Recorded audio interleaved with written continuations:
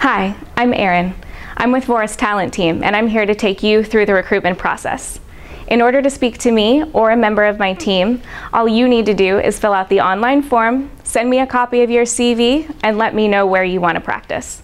Vora has opportunities all over the country, so chances are good there's something nearby. You don't need formal wound experience or a board certification in order to apply. What you do need is an active medical license and a DEA number. You also need to be excited about procedures and about working in the post-acute setting where we see most of our patients. Everything else we can talk about on our first call. I'm excited to speak to you.